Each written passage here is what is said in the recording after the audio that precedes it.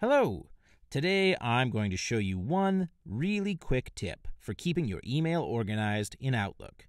Sometimes you get emails in your inbox that you want to mark as read or unread. Sometimes you might want to mark them read even if you haven't had the time to read them yet. There are a variety of reasons a person might want to do this, such as if you want to archive the message for reading later, but know there's nothing vital enough in them to warrant the immediate attention that you typically pay to unread messages. For instance, I often do this with various update newsletters from services or apps that I use.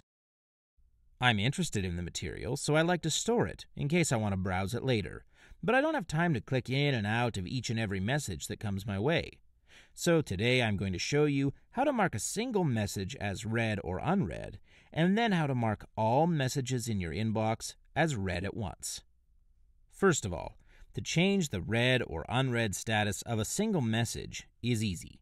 Just click on the message that you want to change, and then click on this read unread icon in the ribbon up here. It will toggle the status to read or unread as you choose. Now, what happens if you glance at your inbox and realize you have a whole raft of messages that you would just prefer to mark as read and then deal with at a different time? You can do that too.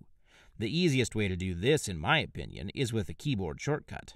I'm on a Mac, so if I just hit Option, Command, and T, it will mark all messages as read. The other way to mark all messages as read is to come up to the menu bar and select Messages, and then select the Mark All as Read option. Hopefully you found this quick tip helpful. If you have any questions, just let us know in the comments section below. Thanks for watching, and have a great day.